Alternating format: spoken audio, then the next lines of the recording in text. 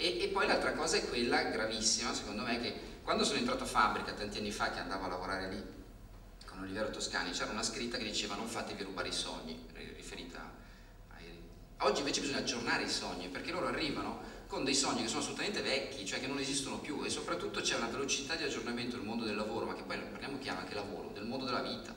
che è così veloce che quando escono è già cambiato qualcosa. Fra cinque anni internet è completamente in televisione, è già cambiata la, la figura regista. Io ho un problema nella mia scuola che internet è stato un po' espulso perché grafica ha iniziato a fare web design e quindi quelli di media fanno un po' meno web design. Però si fa fatica a spiegare, guardate, tenete duro, lavorate, continuate a lavorare sull'HTML, sulla programmazione, sul flash, no, ma cosa ci interessa, noi siamo registi, no, ma bisogna assolutamente farlo perché tra poco si arriverà lì.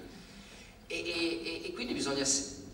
la, la, la, risposta nostra è stata quella di trasformare la facoltà in un laboratorio di ricerca, andando a recuperare in questo scenario così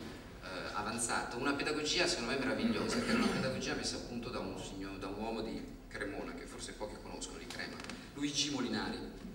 che aveva fatto la pedagogia libertaria, che è una pedagogia in cui si diceva tutti devono fare domande, tutti devono poter eh,